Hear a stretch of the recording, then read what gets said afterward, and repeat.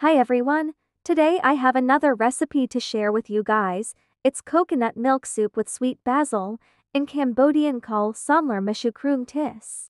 And the flavor is so delicious. Now let's get started. Ingredient, garlic, shallot, dry shrimp, kaffir lime leaves, finger roots, lemongrass paste, turmeric powder, Thai eggplant, Pineapple. For the pineapple I used the frozen one, but if you have the fresh one that will be better. Sweet basil.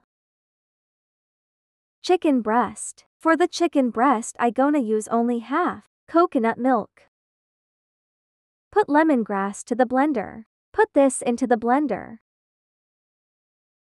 Pour some water. Blended.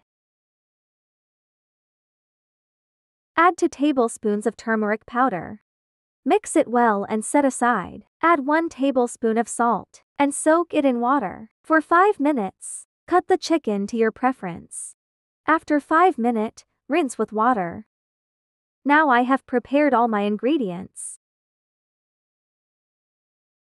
1 tablespoon of palm sugar. Half tablespoon of salt. 3 tablespoon fish sauce. Turn on medium-high heat add some oil, and add this to the pot. And saute until fragrant. Add the thin sliced chicken to the pot.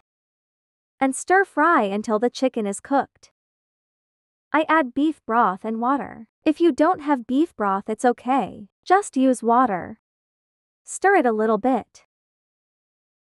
Cover the lid and wait for it to boil.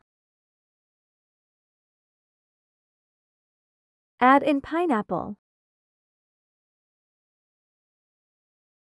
Pour 1 can of coconut milk.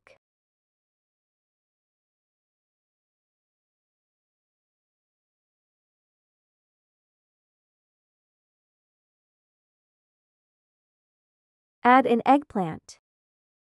Stir it to mix everything together. Cover the lid and wait for it to boil. And add sweet basil in. Give it a few stir to mix everything together and turn off the heat. And we are done. This dish is very healthy and delicious, and it goes well with the rice. And I hope you like the dish that we make today. If you find this recipe useful, please share with your friend and your family and thank you very much.